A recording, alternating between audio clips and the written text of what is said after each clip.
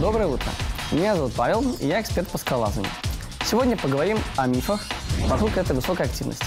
Высота, ощущение полета и свободы. Найти все это можно в горах. Еще ближе на искусственном скалодроме. Скалолазание — это активно и здорово.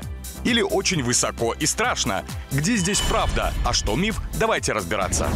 Миф номер один. Я не смогу, я боюсь высоты. И для многих это настоящее испытание. Можно быть уверенным в своих силах и надежности страховки. Но реакция организма все равно будет влажные ладошки, дрожащие коленки и бешеный пульс. Стоп! Это не значит, что у вас не получится скалолазить. Настоящих акрофобов, тех, кто боится высоты, всего 5%. Остальное – простой человеческий страх. С каждым подъемом он постепенно уходит.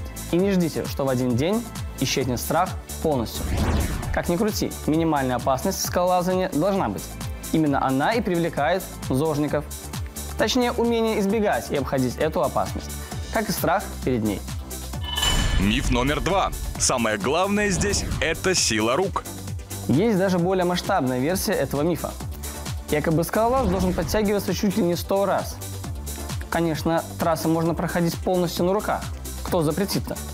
Но ни один скалолаз не станет просто так тратить силы. Он будет устойчиво ставить ноги, работать корпусом, тянуться и балансировать, чтобы сохранить силы для ключевого момента трассы. А руки со временем натренируются. Даже добавки не придется просить. Главное в вопросе скалолазания – техника. Без нее грубая сила ни на что не годится. Одних сильных рук для лазания действительно будет маловато. Особенно, если они дрожат от страха.